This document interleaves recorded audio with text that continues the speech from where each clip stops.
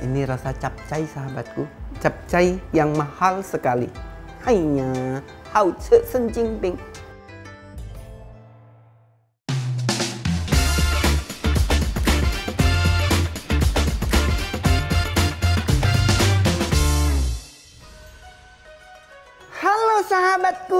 Di mana pun anda berada Ome sedang mau masak sayur dalam menyambut hari raya Imlek oh. Kita akan masak di Galeri Lasa Channel. Masak sayur tujuh macam. Tujuh macam sayur. Ayah capek juga ngomong begini ya sahabatku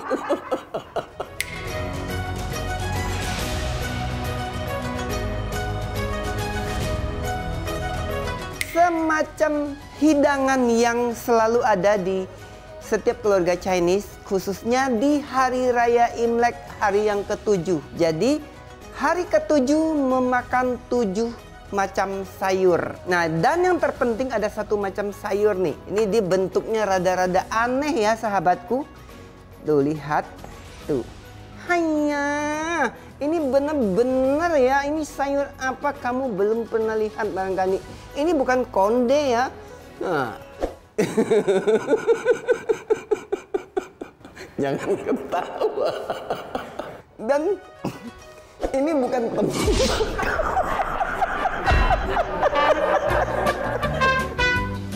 Ini namanya fat chai. Supaya makan ini jadi banyak hoki, banyak rezeki. Makanya ada disebut kongsi fat chai. Nah, ini namanya fat chai. Karena nanti ketika direndam dia jadi lembut. Nah, asal mulanya dia ini adalah semacam lumut yang biasanya hanya hidup di daerah tertentu. Ketika dikeringkan dia menjadi hitam seperti ini. Jadi kayak siwit gitu ya. Ini versi Chinese-nya sahabatku. Dan yang paling penting ini harus dicuci dulu sebelum dimasak ada cara mencucinya oh sahabatku ini tidak sembarangan mencucinya pertama harus diminyakin lebih dulu kasih minyak sedikit diremas-remas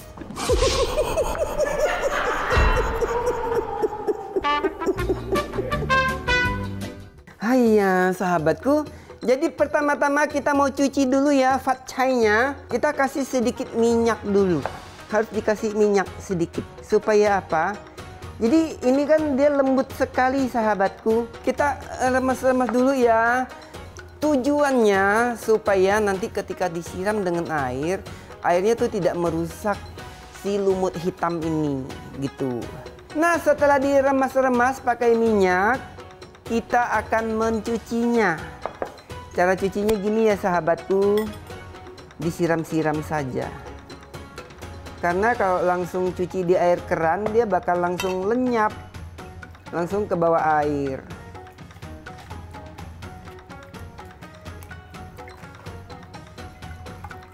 Nah dia jadinya segini ya sahabatku nggak terlalu banyak. Dan selanjutnya Oe mau potong-potong ini namanya bini cabbage. Kok bini cabbage? Mini cabbage. Nah ini untuk satu porsi aku pakai segini aja kira-kira. Karena ini kan ada tujuh macam sayuran. Kita pakai sedikit-sedikit saja. Nah dan ini yang bikin mewahnya sayur ini pakai fresh asparagus. Nah asparagusnya ini saya potong-potong aja. Karena ini Chinese style saya potong menyerong seperti ini. Selanjutnya kita menggunakan kucai. Nah, kalau orang Indonesia bilang ini adalah kucai, padahal aslinya ini bukan kucai ya. Ini namanya ciu cai. Ciu itu sembilan, itu bisa diartikan lama, long lasting. Jadi setiap sayuran itu ada uh, maknanya tersendiri. Kemudian kita juga gunakan sawi sendok.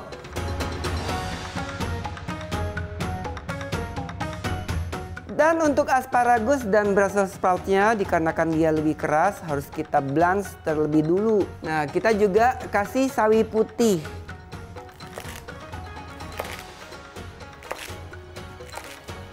Kemudian ini ada celery steak. Ini boleh dipakai boleh juga tidak.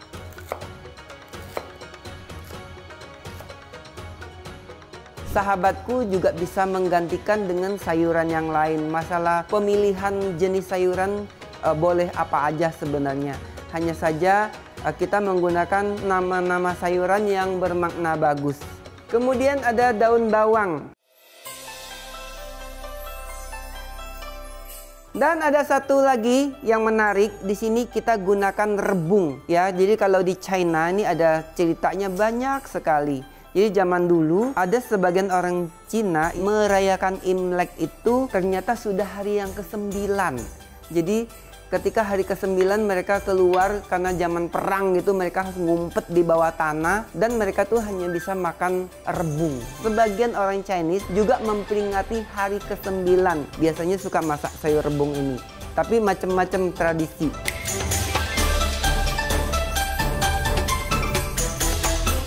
Dan rebungnya ini sudah direbus ya sahabatku, sudah mateng.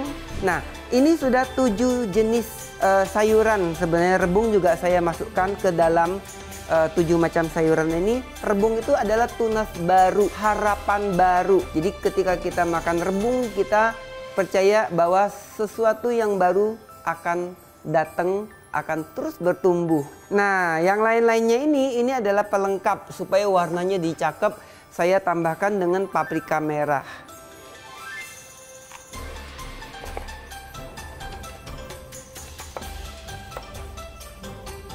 Oke, kita juga gunakan haisom atau tripang.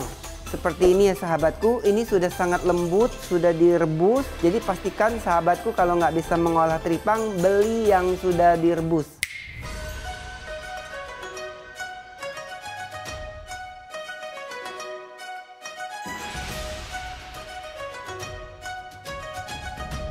Dan kita juga tambahkan fish cake. Sahabatku juga bisa gunakan bakso ikan atau bakso sapi. Paha ayamnya saya skip.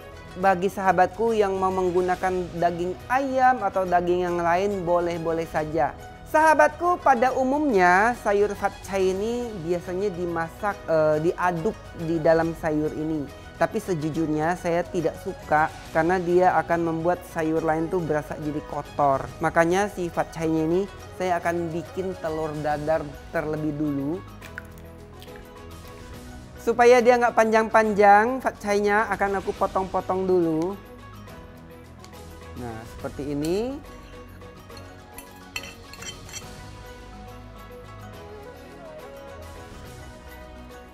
Kita mau panaskan minyak lihat aku menggunakan wok diamond dari Continental. Ini cakep banget loh sahabatku. Dia sudah ada tutup kaca yang kayak gini. Jadi tutup kacanya ini sudah ada lubang, sudah ada ventilasi. Jadi uapnya tuh bisa keluar dari samping. Dan dia berlapisan granit yang tahan panas, memiliki lapisan anti lengket 100% dari Korea.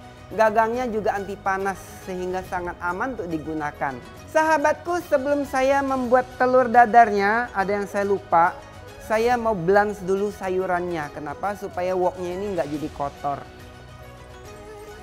Sambil menunggu airnya mendidih, saya mau mencincang bawang putih.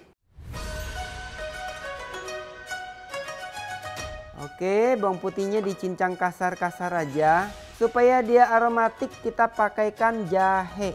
Oke, airnya sudah mendidih. Supaya nanti proses tumis menumisnya tuh nggak butuh waktu yang lama. Ini seduhnya cukup dua setengah menit saja ya sahabatku. Nah ini sudah sekitar dua setengah menit kita angkat dan cemplungkan ke air dingin supaya warnanya tetap hijau segar. Nah sekarang kita mau panaskan minyak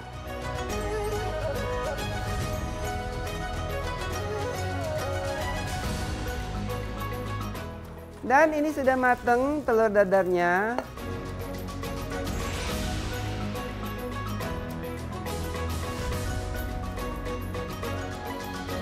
Oke, kita panaskan minyak lagi.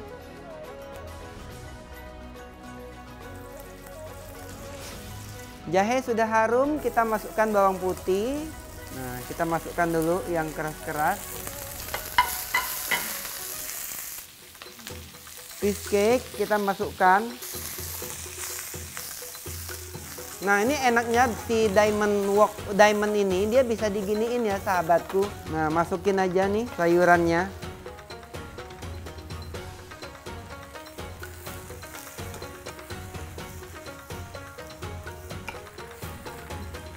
Masukkan tripang. Ini bagian yang terlezat dan termahal.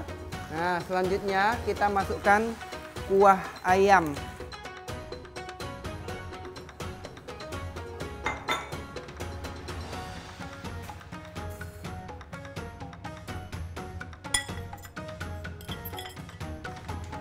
Ini masaknya nggak boleh lama-lama ya sahabatku. Begitu mendidih itu sudah cukup.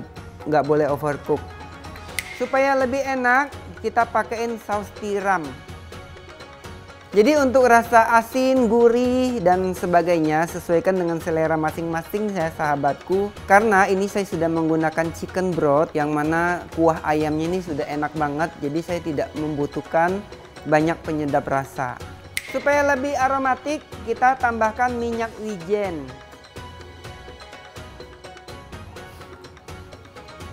Lihat sahabatku, warnanya bagus ya. Dan terakhir kita baru masukkan telur dadar fatcai-nya. Nah, ini namanya telur dadar fatcai.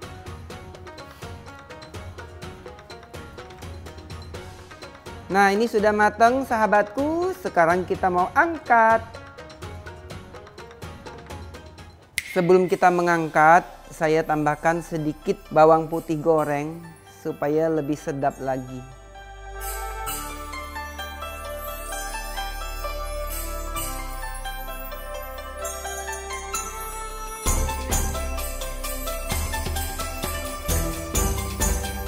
Kita mau cicip-cicip dulu ya sahabatku. Ini dadar fatcai.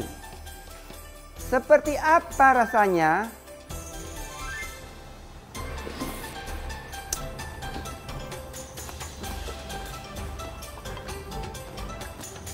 Hmm. Ini rasa capcay sahabatku. Capcay yang mahal sekali. Hanya, hao Nah sahabatku, ini adalah cai, tujuh macam sayur atau tumisan tujuh macam sayur. Dan aku menghidangkannya di piring hidang bermotif lili yang memiliki filosofi tentang persahabatan yang sejati yang selalu ada saat suka maupun duka. Enak banget ya sahabatku kalau punya sahabat yang seperti itu. Tentunya kamu sahabatku. Buat kamu yang pengen banget punya cookware seperti yang aku gunakan hari ini, bisa langsung cek di Instagramnya at continental.premiumkitchenware atau di TikToknya at continental.kitchenware atau di websitenya di www.continentalkitchenware.id. Dan bagi sahabatku yang pengen banget lihat langsung koleksi lainnya, bisa langsung datang loh ke showroomnya Vicenza di Sunter, Jakarta Utara. Di situ juga banyak banget koleksi produk Continental dan Vicenza. Buat kamu yang pengen banget request atau bertanya seputar memasak, bisa langsung tulis di kolom komentar ya. Jangan lupa subscribe, like, share, komen, dan tekan tombol loncengnya. Saya Chef Edi Siswanto, sampai jumpa di resep lainnya. Singyan Kuala Wan Serui, Galeri Rasa Channel, masak sempurna dengan Vicenza. Kung Si Fa Chai.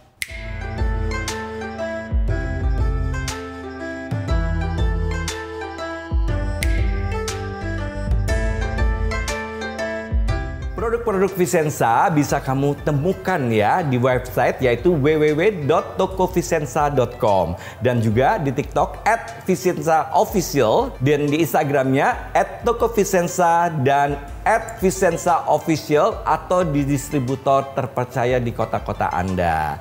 Nah buat yang tinggal di Jakarta bisa datang langsung ke showroomnya, bisa melihat dengan leluasa di sini ya.